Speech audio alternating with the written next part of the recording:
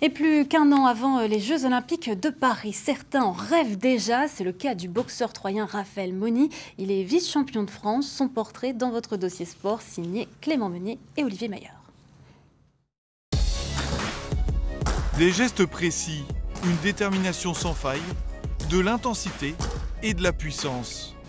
Comme chaque jour, Raphaël Moni, vice-champion de France de boxe, s'entraîne dur avec Mamadou Batili, son coach de toujours.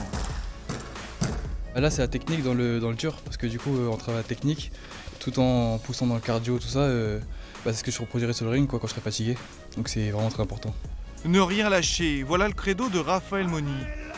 Championnat de France de boxe le mois dernier, le Troyen en bleu réalise trois rounds parfaits, mettant même Cheikh Koné, son adversaire du jour, à terre. Oui, mais voilà, Koné est fils du promoteur du championnat et créateur d'une célèbre marque de vêtements.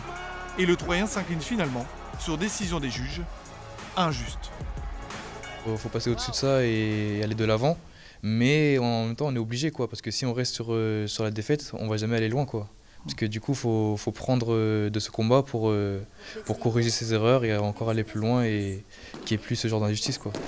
À ses côtés, son frère Valentin, boxeur également, est lui aussi déçu. C'est encore plus dur quand c'est son petit frère. Quand c'est soi, on se dit oui, bon, euh, peut-être qu'on a mal fait des choses, peut-être que voilà. Mais quand c'est son petit frère, on se dit euh, ah merde, quoi. Enfin, il a fait tout ce qu'il fallait, au final, le résultat, il ne vient pas.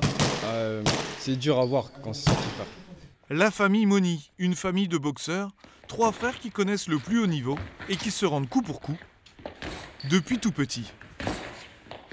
Moi, mon petit frère, depuis, qu'il était tout petit, on, y allait. Même s'il aimait pas trop ça, on se disait ouais, on y va et tout ça. Et voilà, le résultat à payer, on dirait. Hein. Et c'est que le début. Une famille soudée qui ne lâche rien. Pour eux, l'entraînement est quotidien. Travail technique, mais aussi physique. Tous les matins, Raphaël se rend en salle de sport, accompagné de son frère Valentin et de son entraîneur. Après plusieurs années à l'INSEP, Raphaël Moni est de retour à Troyes pour préparer les Jeux avec ses proches. Il faut pouvoir maintenir en fait, bah, une certaine intensité sur le ring, bah, maintenir en fait, euh, les coups, le nombre de coups qu'il faut donner sur le ring. Si l'adversaire donne un peu plus de rythme, bah, pouvoir euh, tenir la, cadence. Donc euh, oui, il faut un gros travail de fond et un travail musculaire. C'est un travail cardio, c'est toujours important parce que les derniers rounds en général, j'ai du mal à les finir. Donc travailler cardio, ça me permettra de, rester jusqu'au bout à fond. Quoi. Travailleur, perfectionniste, Raphaël Moni a décroché tous les titres de champion de France chez les jeunes. À 21 ans, il se fait désormais sa place chez les grands avec ses qualités intrinsèques. Raphaël est très calme, euh, il va très vite sur le ring, euh, il réfléchit beaucoup aussi. C'est un contre-attaquant, il a une force de frappe aussi. Honnêtement, il frappe fort, même s'il ne se rend pas compte qu'il frappe fort, euh, il va très vite.